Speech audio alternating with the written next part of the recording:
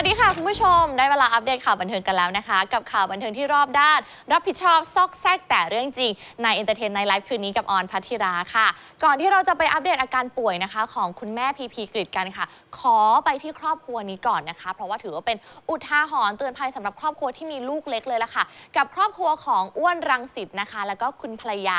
ปาร์ค ฮยอนซอนหรือว่ามะม่วงที่เรารู้จักกันนั่นเอง คือเขาได้โพสต์คลิปนี้ไว้เนี่ยจะเห็นว่าก่อนหน้านี้ดูปกติเลย แต่ว่าตอนนี้ที่พี่อ้วนเนี่ยวิ่งเข้าไปเนี่ยคือแอปเปิลนะคะ ที่น้องซารังลูกชายกินน่ะติดคอค่ะคุณผู้ชม จะเห็นว่ามันเป็นช่วงเวลาแบบ เสี้ยววินาทีเลยจริง ๆนะคะ ตอนแรกเนี่ยคุณพ่ออ้วนก็พยายามจะเข้าไปช่วยเลยทีแรก เข้าไปชาร์จก่อนเลย ก่อนที่คุณแม่เนี่ยจะทำวิธีที่ถูกต้องนะคะ โดยการที่เขย่าหรือว่ากระทุ้งตัวน้องเนี่ยให้มันโชกออกมาให้แอปเปิลที่ติดคออยู่เนี่ยออกมาจากหลอดลมค่ะ คือวิธีการนี้คือถูกต้องนะคะ คือวิธีการที่ต้อง ศึกษากันมาก่อน แล้วก็ช่วยได้ในกรณีนี้เลย ซึ่งก็ปลอดภัยหายห่วงนะคะ น้องซารังปลอดภัยดี คุณแม่มะม่วงก็เลยโพสต์คลิปนี้ไว้ค่ะสำหรับครอบครัวที่มีลูกเล็กนะคะ เป็นอุทาหรณ์ว่าทุกนาทีเราต้องมีสติในทุกสถานการณ์จริง ๆ แล้วก็ต้องเรียนรู้ด้วยนะเฮมลิกมนูเวอร์นะคะเขาเรียกว่าแบบนั้นคือเราจะต้องแบบจับมือไว้ให้ถูกต้อง แล้วก็ดันตรงลิ้นปี่เพื่อให้อาหารที่มันติดอยู่ในหลอดลมออกมาได้นะคะ ก็ ฝากเตือนภัยไว้สำหรับบ้านที่มีลูกเล็กด้วยละกันนะคะ ส่วนเรื่องราวของน้องพีพีนั่นแหละ คือเมื่อวานนี้ได้ออกงานใช่ไหมแล้ว น้องพีพีระหว่างให้สัมภาษณ์อยู่ก็ปล่อยโฮกลางงานเลยค่ะ เพราะว่าคุณแม่สุดที่รักนะคะ ป่วยกระทันหันถึงขั้นต้องเข้า ICU เลยละค่ะ ทำเอาแฟนคลับตกอกตกใจและเป็นห่วงความรู้สึกของพีพีกริดแบบสุดๆ ค่ะ หลังเจ้าตัวน้ำตาแตกกลางวงสัมภาษณ์ เปิดใจถึงความเป็นห่วงคุณแม่สุดที่รัก ล้มป่วยเข้าข่ายโรค SLE หรือโรคแพ้ภูมิตัวเอง จนต้องเข้ารับการรักษาในห้อง ICU อย่างกระทันหัน หลังกลับจากทริปเที่ยวออสเตรเลีย แต่ล่าสุดเจ้าตัวใจชื้นขึ้น เมื่ออาการของคุณแม่ดีขึ้นตามลำดับ พร้อมขอบคุณเหล่าแฟนคลับที่เป็นห่วง รวมถึงคู่จิ้นอย่างบิลกินพุทธิพงศ์ที่อยู่เคียงข้ามเป็นกำลังใจไม่ห่างไปไหนค่ะ อาการก็ พี่ว่าค่อนข้างจะดีขึ้นแล้วครับ เมื่อเช้านี้คุณหมอก็ก็บอกว่าเหมือนเขาให้การตอบสนองต่อต่อตัวการรักษาครับหลายๆอย่างทุกๆวันก็ไม่ว่าจะก่อนหรือว่าหลังมางานอะไรอย่างเงี้ยถ้าพอพอมีเวลาได้ก็จะพยายามไปอยู่กับคุณแม่ให้ได้มากที่สุดพี่กินเหรอครับบิวกินน่ารักมากๆครับบิวกินตั้งแต่วันแรกที่คุณแม่เข้าโรงพยาบาลเลยบิวกินก็เป็นคนที่ก็อยู่กับพีตลอดครับผมแล้วก็เป็นคนที่ช่วยเหลือพี่ในในทุกทุกอย่าง ขอบคุณแฟนๆแล้วกันนะครับผมขอบคุณพี่ๆทุกคนตรงนี้ด้วยนะครับที่ที่มาให้กำลังใจพี่วันนี้ด้วย ก็สิ่งนี้มันมันช่วยเหลือตัวพีจริง ๆ แล้วก็ช่วยเหลือครอบครัวพีจริง ๆ ได้อ่านครับได้อ่านก็จริง ๆ ก็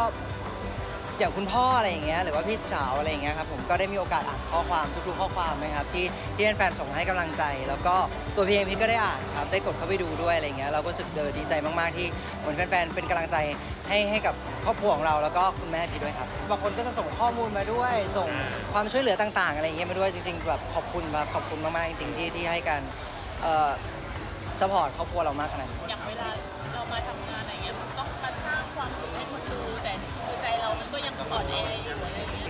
ว่ามันก็เป็นหน้าที่ของพีที่พีต้องออกมารับผิดชอบตรงนี้ในหน้าที่การงานของพีด้วย แล้วก็ความกังวลหลาย ๆ อย่างอะไรเงี้ยเราก็คงต้องทิ้งไว้แหละครับหมายความว่าเราเรามาทำงานข้างหน้าเราอยากจะมอบความสุขให้ทุกคนจริง ๆ ทุกๆคนที่มารอเรา เราเขาก็เหนื่อยเหมือนกัน เราก็เหนื่อยเหมือนกัน แต่ไม่เป็นไรเราเรามาทำหน้าที่ตรงนี้ เราก็อยากจะให้ทุกคน enjoy กับตัวพีด้วยกับตัวงานตรงนี้ด้วยครับทำหน้าที่ของเราให้ดีที่สุดครับผมพี่พี่เชื่อว่ายังไงทุก ๆ อย่างจะต้องดีขึ้นแน่นอนครับ ส่วนความรู้สึกของทุกคนในครอบครัว พีพีเผยว่าตอนนี้ทุกคนต่าง support ซึ่งกันและกัน ก่อนฝากขอบคุณทุกกำลังใจที่ส่งมาให้จากทุกช่องทางด้วยค่ะ ชื่นชมในทัศนคติของพีพีมาก ๆ เลยนะคะ เชื่อเลยว่าเป็นห่วงคุณแม่มาก ๆ แต่ว่าหน้าที่ก็คือหน้าที่ก็ต้องมาทำงานกันต่อไป ส่งกำลังใจให้กับครอบครัวพีพีแล้วก็ขอให้คุณแม่หายไวๆกลับมาแข็งแรงได้ปกติเหมือนเดิมเลยนะคะ ไปกันที่คู่รักคู่นี้กันบ้างดีกว่าค่ะ เปิดตัวมาไม่ทันไรนะคะ ตอนนี้โบกมือ bye bye กันแล้วค่ะสำหรับหนุ่มแน็กชาลีแล้วก็ยูทูบเบอร์สาวนะคะ เก๋ไก๋สไลเดอร์คือถึงแม้ว่าเขาจะเลิกลากันไปความสัมพันธ์จบลงแล้ว แต่ประเด็นดราม่ามันไม่จบเนี่ยสิคุณผู้ชม เดี๋ยวเราไปฟังสาเหตุที่แท้จริงของการเลิกลากันดีกว่าค่ะ เปิดตัวรักกันเมื่อ 2 เดือนก่อนก็โดนด่า พอออกมาประกาศเลิกกันปุ๊บ ก็โดนวิจารณ์ยับสับแหลกอีกรอบค่ะสำหรับความรักที่รวดเร็วดุจสัญญาณ 5G ของยูทูบเบอร์สาว เก๋ไก๋สไลเดอร์ และนักแสดงหนุ่มหน้าหล่อสุดติสท์แน็กชาลีที่ก่อนหน้านี้ฝ่ายชายออกมาเปิดใจว่าไม่ได้เป็นคนทิ้งใครก่อน และไม่อยากทำอะไรมุ้งมิ้งเหมือนที่ตัวเองไม่ชอบทำเอาทัวร์ลงสนันว่าไม่แมนออกมาพูดให้ผู้หญิงดูเสียหาย ล่าสุดสาวเก๋ไก๋ที่มีคิวออกงานก็บอกชัดว่ารักนี้ไม่ใช่คอนเทนต์และไม่อยากสาธยายอะไรเยอะกับสิ่งที่จบไปแล้วค่ะ มันมันจบแล้วอะค่ะ มันเหมือนแบบว่าคุยกันแล้วก็เราหยุดไม่ได้คุยไม่ได้ติดต่อกันตั้งแต่ตอนนั้นเลยค่ะสำหรับหนูรู้สึกว่าต้องหยุดแล้ว เพราะว่าอย่างที่บอกคือไลฟ์สไตล์หรือว่าการใช้ชีวิตหลาย ๆ อย่าง คือเราลองศึกษากันแล้ว เรารู้สึกว่าเอ้ยมันไม่มันยังมันไปต่อด้วยกันไม่ได้เสียใจอยู่ไหมครับคะตอนนี้เหรอคะฮิวใจด้วยการทำงานค่ะ เสียใจไหมเสีย ใจก็รู้สึกว่า ถ้าความรักมัน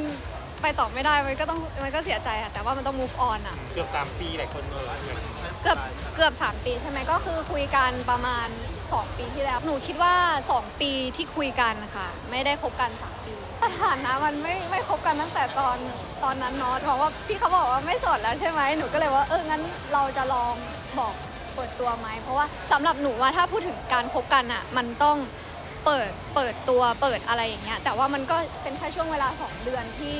ที่เราได้แบบทำเต็มที่เลยไม่เสียดายค่ะไม่เสียดายเพราะว่ารู้สึกว่าตอนที่คุยกันก็ก็คุยแล้วก็เป็นคนที่น่าน่ารักต่อกัน แล้วก็ทำเต็มที่แล้วค่ะ เลิกกันด้วยดีหรือว่ามีอะไรติดค้างไหมสำหรับหนูตอนนี้หนูไม่มีอะไรติดค้างค่ะ หนูยืนยันไหมว่าไม่ได้ไปเปลี่ยนแปลงเขาแล้วก็ไม่ใช่คอนเทนต์คือหนูอาจจะเป็นคนที่ชอบทำงาน แล้วก็ตอนนี้หนูเห็นว่าพี่เขาก็ มี passion ในการกลับมาทำงาน แล้วเขาก็มีแนวทางของเขาแล้วก็ way ของเขาหนูก็แบบ happy ตรงนี้แล้วที่แบบเราต่างคนต่างมี passion ของตัวเองค่ะ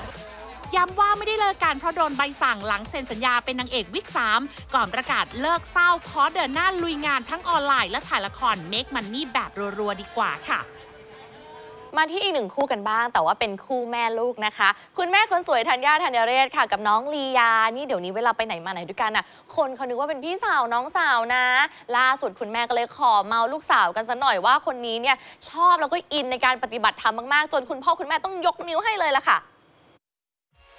เพราะลูกก็โตแล้วว่าบางทีเขาก็ย้อนน่ะย้อนก็สะอึกเหมือนกัน โดนสอนกลับ ใช่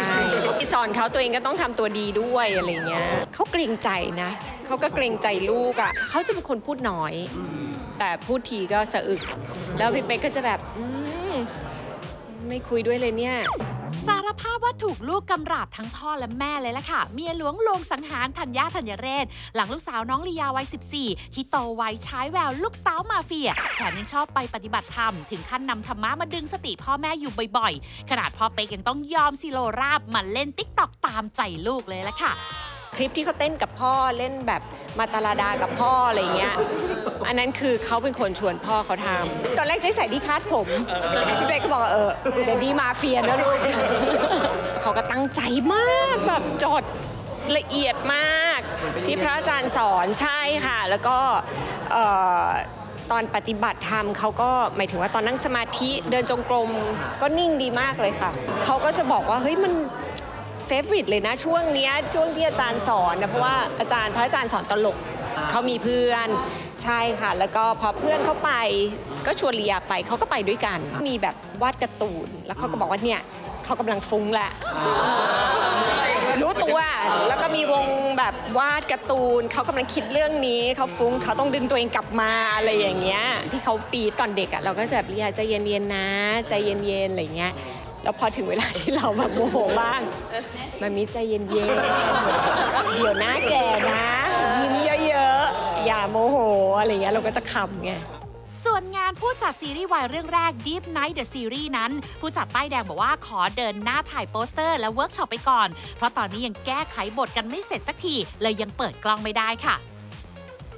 อีกหนึ่งคุณแม่คนสวยเหมือนกันนะคะ ที่ก็ทุ่มเทเวลาอย่างเต็มที่เพื่อเลี้ยงลูกทั้งสองค่ะ จนตอนนี้เนี่ยลูกๆก็เริ่มโตกันแล้วนะคะ กับคุณแม่วิกกี้สุนิสานั่นเองก็เลยขอเอาความทุ่มเทนี้เนี่ยไปทุ่มเทอีกอย่างหนึ่งเพื่อให้ความเป็นติ่งคอมพลีทแต่ว่าจะเป็นอะไรไปติดตามกันค่ะ สียเงินแพงแค่ไหนไม่ว่า แต่ขอให้ได้เห็นคุณแม่ควีนบีชัดๆ แบบไม่ต้องซูมให้เสียเวลาค่ะ คุณแม่สุดแซ่บวิกกี้สุนิสา ที่ยอมควักกระเป๋าราคาหลักแสน ซื้อตั๋วเครื่องบินเหินฟ้าไปดูคอนเสิร์ตบียอนเซ่ไกลถึงซานฟรานซิสโกสหรัฐอเมริกาเลยทีเดียวค่ะ ชอบชอบมากแล้วรู้สึกว่านางไม่มาเมืองไทยสักทีก็เลยไปหาไปนู่นเลย บอกตลอดว่าจริงๆเราเป็นเพื่อนกันแต่นางยังไม่รู้คือเป็นแฟนคลับเขาจริงๆอะค่ะแบบจริงๆแล้วก็น่าจะเป็นแบบ ศิลปินหนึ่งที่กี้เหมือนรู้สึกโตมากับเขาจริง ๆ แล้วก็อยู่ในทุกช่วงชีวิตของเขาเหมือนเป็นเพื่อนกันอีกแล้วเหมือนเป็นแฟนคลับแบบ ใช่ค่ะผ่านเพลงมากเพลงมาก คือจริง ๆจำได้ว่าสมัยก่อนที่แบบ 16 ปีที่แล้วที่เขามาเมืองไทยอะค่ะ คือตอนนั้นเราก็ซื้อบัตรตาม budget ที่เรามีมันก็จะไกลหน่อย แต่พอเราเริ่มโตขึ้นเราทำงานอะไรอย่างเงี้ยเราก็ซื้อเริ่มมีกำลังที่ซื้อบัตรใกล้ขึ้น คือคราวนี้ก็คือหยุดติดเวทีเลย แต่เขาเห็นเราเห็นไหมเห็นในโพสต์ใช่ไหม นั่นคือ mission ของกี้ feeling ตอนนั้นคือกะว่ามันเป็นช่วงที่เขาจะเข้าแล้วค่ะที่เขาบินนะคะก็กะว่าถ้าเขาไม่เห็นก็อาจจะน้อยใจเขานิดนึง เพราะเราไปไกลมาก แต่กลายเป็นว่าเขามาเห็นตอนวินาทีสุดท้ายก่อนเขาเข้าไปพอดีก็แบบกรี๊ดแล้วก็แบบเหมือนชีวิตติ่ง complete สำหรับทริปชีวิตติ่ง complete ครั้งนี้ คุณแม่วิกกี้ออกปาก ขอบคุณคุณสามีสุดที่เลิฟ ชายชาตโยดมแบบสุดหัวใจ ที่ยอมใจอ่อนให้ไปดูคอนเสิร์ตกับก๊วนเพื่อนนานถึง 10 วัน แถมยังเคลียร์คิวเลี้ยงลูกชาย 2 คนแบบ full time ให้ไปอีก น่ารักมากเลยอะพ่อคุณ ชวนทำดี ฉลอง 21 ปีไนน์เอนเตอร์เทนร่วมส่งต่อโอกาสทางการศึกษา ให้นักศึกษาแพทย์ที่ขาดแคลนทุนทรัพย์ พร้อมเติมเต็มบุคลากรทางการแพทย์เพื่อช่วยเหลือสังคม ร่วมสมทบทุน มูลนิธิสมเด็จพระเทพรัตนราชสุดา ธนาคารไทยพาณิชย์เลขที่บัญชี 067ขีด213 510ขีด0มาร่วมส่งต่อโอกาสดีๆ ด้วยกันนะคะ อย่างที่นุกปายบอกเลยนะคะ ว่ามาร่วมส่งต่อโอกาสดีๆทางการศึกษา ให้กับเหล่านักศึกษาแพทย์ที่ขาดแคลนคุณทรัพย์กันได้นะคะ ตามเลขบัญชีด้านล่างนี้เลยค่ะ เพราะว่าการศึกษาเนี่ยเป็นสิ่งที่สำคัญมากๆนะคะ และประเทศไทยของเราเองเนี่ยก็ยังต้องการบุคลากรทางการแพทย์อีกเยอะเลยละค่ะ เมื่อกี้นี้เราได้เจอไปแล้วนุกปาย แต่ถ้าคุณผู้ชมอยากเจอแบบเต็มๆ แบบใกล้ชิดแล้วก็นี่เป็นโอกาสดีๆนะคะ ของแฟนๆ แล้วก็เหล่า FC นุกปายด้วยค่ะ เตรียมตัวรับความสนุกแบบจัดเต็มได้เลยนะคะ กับไนน์เอนเตอร์เทน meet and greet ครั้งที่ 64 วัยเก๋าหัวใจว้าวุ่น with นุกปาย งานนี้คู่ buddy เพื่อนซี้นุกปายเนี่ยเขาจะพาแฟนๆ รายการไนน์เอนเตอร์เทนของเราค่ะ ไปที่ สวนะคะไปดูแลเหล่าสวที่ศูนย์พัฒนาการจัดสวัสดิการสังคม ผู้สูงอายุปทุมธานีนะคะ ในวันจันทร์ที่ 13 พฤศจิกายนนี้ค่ะ แฟนคลับที่อยากมากระทบไหล่กับนุกปาย พร้อมส่งต่อนะคะ ความสุขให้กับเหล่าวัยเก่าก็สามารถคลิกเข้าไปดูได้เลยนะคะ ติดตามกติกา แล้วก็รายละเอียดกันได้ที่นาย entertain นะคะ หรือว่า nine activity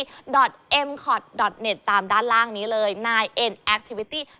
m c o t net ที่ต้องย้ำกันเนี่ย เพราะว่าเรารับจำนวนจำกัดกันจริง ๆ นะคะ ดังนั้นถ้าอยากไปร่วมทริปนี้ด้วยกัน ก็ต้องรีบ ๆ กันหน่อยละค่ะพรุ่งนี้กลับมาอัปเดตข่าวบันเทิงกันได้ใหม่กับนาย entertain 11 โมงครึ่งทางช่อง 9 กด 30 นะคะ วันนี้ออนลาไปก่อน สวัสดีค่ะ